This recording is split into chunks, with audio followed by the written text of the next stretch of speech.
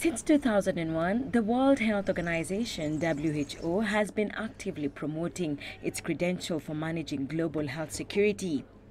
However, it's been heavily criticized for its initial response to the 2014 Ebola outbreak in West Africa. More than 11,000 people died in Equatorial Guinea, Liberia, and Sierra Leone. And despite repeated calls for assistance, it was months before WHO stepped in. Outgoing WHO Director General Margaret Chan has acknowledged the agency's response was too slow. This happened on my watch, and I am personally accountable. I saw it as my duty, as your Director General, to do everything possible to ensure that a tragedy on this scale will not happen again. History will judge whether the new emergencies program has given the world a stronger level of protection.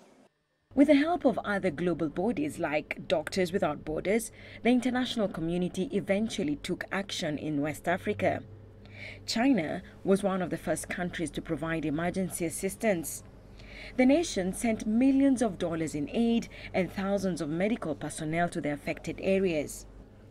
Chan says the outbreak in 2014 has resulted in the implementation of vital reforms at the WHO. It's also led to the development of the first Ebola vaccine and new multinational health agency programs. Earlier this month, a new outbreak of the virus was reported in the Democratic Republic of Congo. As the region is remote, authorities are confident that they can contain the spread. And so far, the response has been swift. Either way, it seems, Ebola is going to be the first major challenge for the new head of the global health body. Susan Mwongeli, CGTN.